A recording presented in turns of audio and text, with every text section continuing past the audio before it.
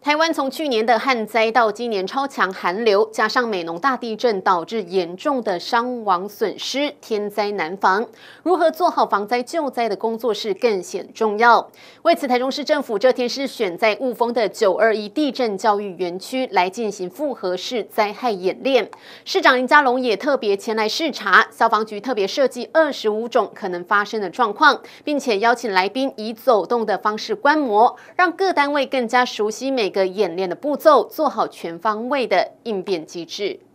演练开始。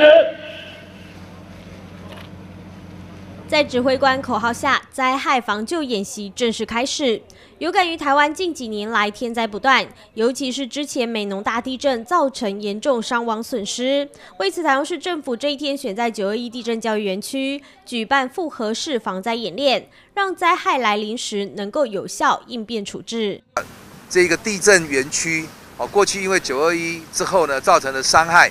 那借由这次演习哈，大家可以啊，啊，未来哦，当灾害发生的时候啊，可以这一个啊，事前做到防灾减灾，而在灾害发生时候，可以呢啊，很有效的来救灾，而救灾要能够成功哦，必须要政府跟啊人民一起来合作。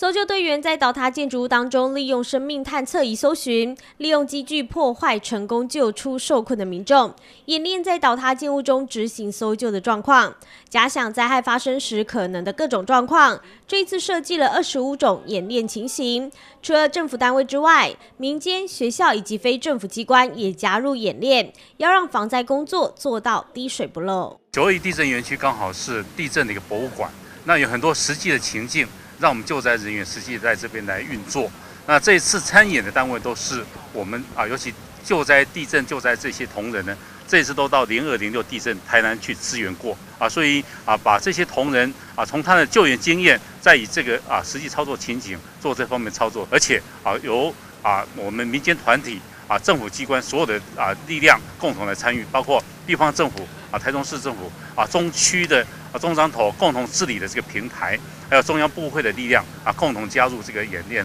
有别于往常的演习，这一次采取走动的方式，平和演练进行，因不同场所设计各种演练。消防局也表示，结合这一次参与美浓大地震救灾的经验，让各单位在遇到灾害发生时，能够充分准备，将伤亡损失降至最低。